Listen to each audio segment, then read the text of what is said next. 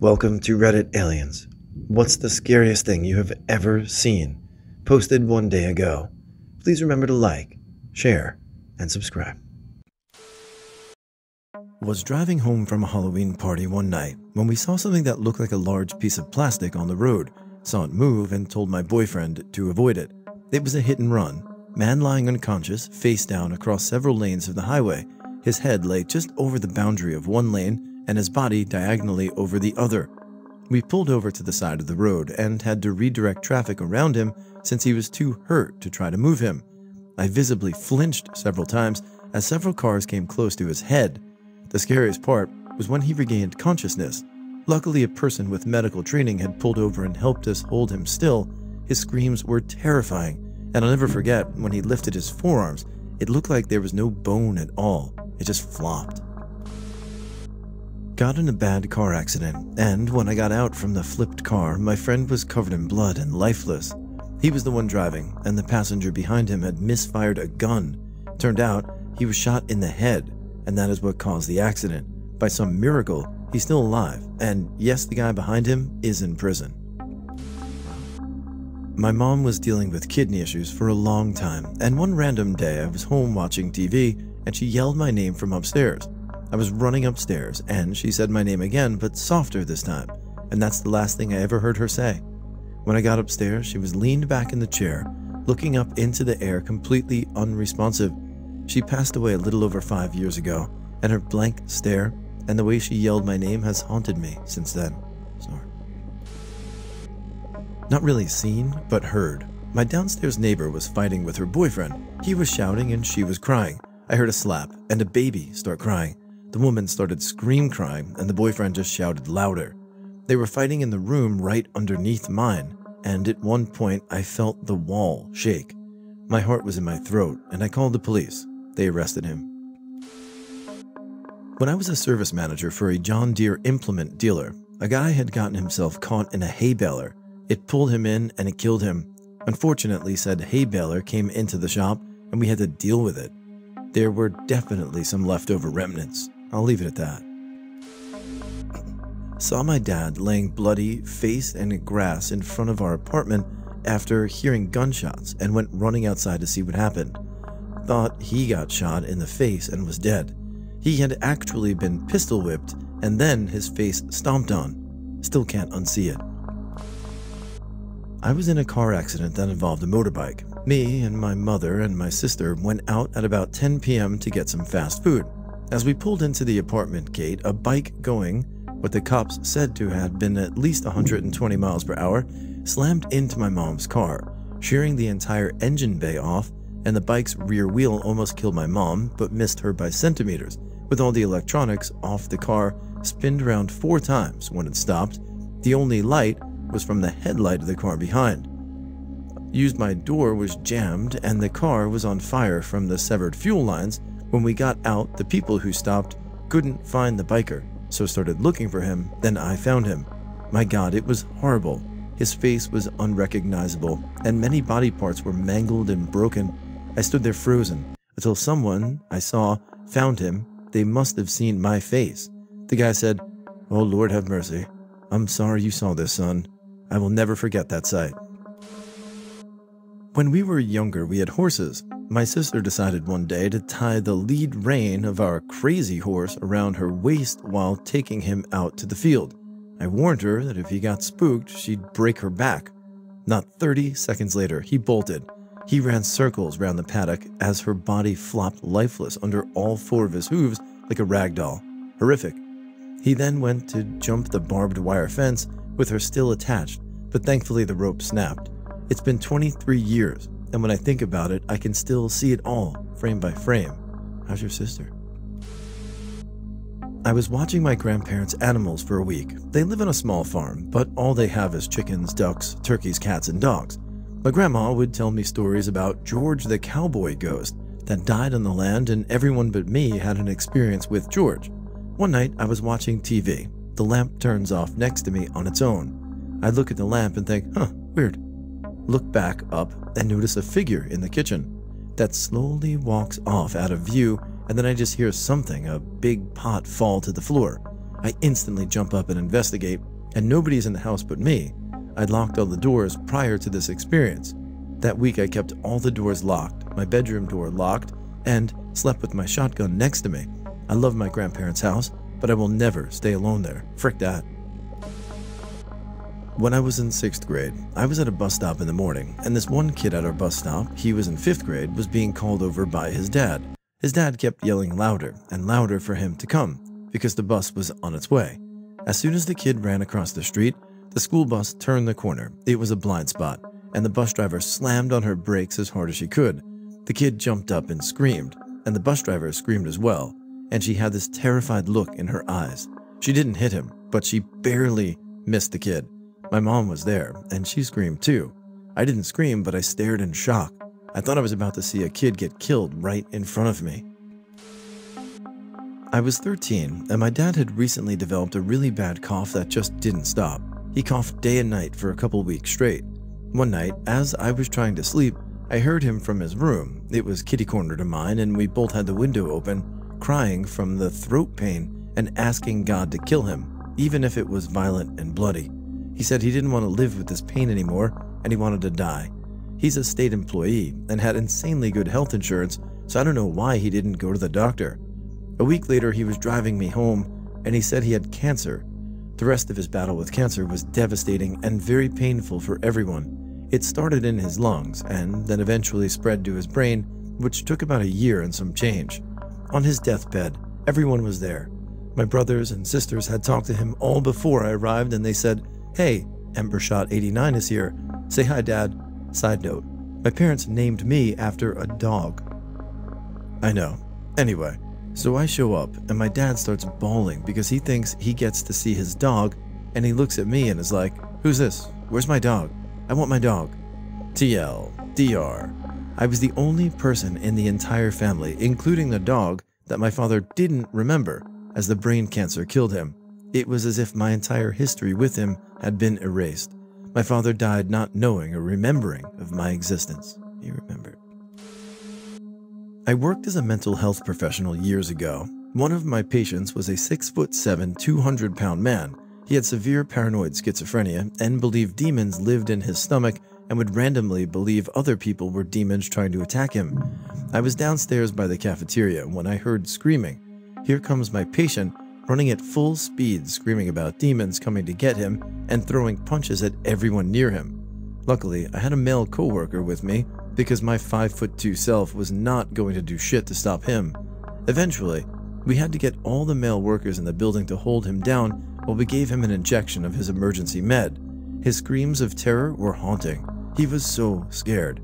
He left our facility soon after for punching a nurse in the face. I've had a few unplanned run ins with dead bodies, unfortunately, but one stands out more than others. I'd snuck out of my house very late one night as a young teenager for a short walk through some nearby trees by a lake. I was in poor health as a kid and was under constant supervision in the daytime even after my health improved. I really needed the alone time for my mental well being. I smelled something odd, not nice but almost sweet, and walked towards it. Up against the edge of the water, and only revealed by the moonlight hitting the lake at just the right angle, was a person lying face down. I immediately stopped thinking about the smell, and 100% of my focus was now on this. I ran over to see if it really was a person or if my mind was playing tricks on me, and I didn't need to get too close to realize that it was. I approached cautiously and tried shaking them to see if they were okay. I didn't get any kind of response from them. I screamed for help and for someone to call an ambulance and could see the lights in the nearby houses turning on. I tried to roll them over so they weren't face down in the mud. It was extremely difficult, and I kept slipping because everything was so wet. Them, my hands, the mud. I remember vividly that I noticed that they were cold and that something just didn't feel right. Honestly, it hadn't even crossed my mind that they might be dead until I touched them, and suddenly I was somehow certain that they were. I thought I'd attempt CPR, I was not in any way trained. I just didn't know what else to do with a dead body as a scared kid in the dark. I put my hands on their chest, and with just the slightest pressure, my hand slid under the skin as it came away from their body. The smell was awful. The body was not fresh. It was probably only 10 seconds, but it felt like forever. I was just sitting there, my hands inside another human being's skin, processing what was going on. Next thing I know, I'm lifted away from the body. I had no idea what was going on. I remember thinking I was dying for some reason, lol. I was being picked up from behind, under the armpits like you might a toddler. I didn't realize until a small crowd had gathered with lights and stuff in response to my shouting earlier. Thinking back, the person picking me up was probably only in his early 20s and was very freaked out too, but trying to keep it together for me, bless him. My mother swallowing a bottle of pills and downing it with vodka. It was my 21st birthday, and she did it in the middle of the living room with the words, I hope I haunt you. My dad refused to do anything, so I called the emergency services. I don't know what was more terrifying my mother trying to kill herself in front of me, or my father's complete indifference. I don't much like birthdays or family gatherings anymore. I was at the store and got stuck in an aisle behind a young couple with a very young baby, maybe only a few weeks old. The man had the baby wrapped in a blanket and resting on his shoulder while the woman pushed their cart. At one point, she asked him to pick up something somewhat heavy from a low shelf. He bent down, picked up the object, and put it in the cart, then kind of hupped the baby up against his shoulder again. Only the baby went a little too high, slipped out of the blanket, went over his shoulder, and hit the ground. Dad screamed even before he turned around. Mom grabbed the baby and they both ran out of the store. I just stood there, stunned, looking at the floor where the baby hit. There was a little spot of blood. The baby never made a sound. I don't know what happened to it. It would have to be my mom having a severe seizure and having to pin her down so my dad could give her a suppository medicine to stop the seizure. It went on for some time. The hour or so before it happened, when it happened, and the drive to the hospital are very clear in my mind. In the hour or so before it happened, we knew something was wrong. On one hand, you hope nothing happens, but then you're also constantly prepared, asking questions, observing responses, rub her back to see if she acknowledges your presence, change the channel on the TV to see if she notices, etc. As the hour progressed, we could tell that she was becoming less responsive and her answers to questions were slower and making less sense. This would happen before a seizure. When you know a seizure is coming, it's a stressful waiting game. Then it hits, and you're just holding on like hell and hoping the person doesn't severely hurt themselves or die. Wait for the meds to kick in, then drive to the hospital, hope like hell you get there fast enough.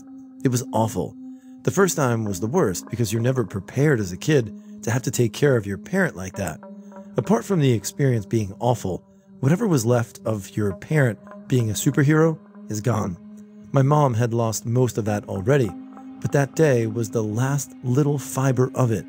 We had reversed roles, and now I was the caretaker. Unfortunately, that role didn't last long. I'm grateful I got to take care of her, though. 1. The terrible job the funeral home did on my mom. She died of a large brain tumor, and doctors had to remove a piece of her skull because of the swelling. They never put the piece back on, and the funeral home just combed her hair over the crater. My mom looked like a life sized doll with some of the air squeezed out of her head. 2. Being 17 and having a paranormal experience while in the shower, saw a creepy apparition, which I tried debunking in various ways but to no avail. 20 minutes later, got the worst and only bloody nose of my life, complete with blood clot removal upon removing the toilet paper from my nose. My wife's first cousin was building a derby car to run in the demolition derby one year. He lived behind us, basically right behind our garage with only a small alley between us. I was working on our car one fall evening when he walked over and asked if I could help him put the engine in time. We walked back over, and I got in, started the car several times while he was turning the distributor. After four or five goes at it, the engine finally takes off running, but I hear a clanking sound like you might hear if someone dropped a tool into the fan.